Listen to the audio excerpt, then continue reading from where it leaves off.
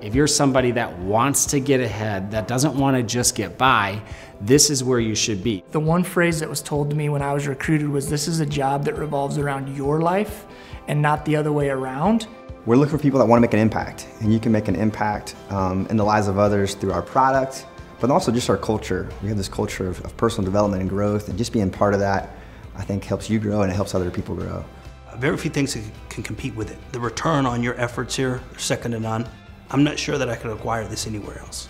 Just bet on yourself. You know, we work so hard uh, in life, regardless of industry, to build somebody else's dream. Imagine the passion you could have when you're building your own dream.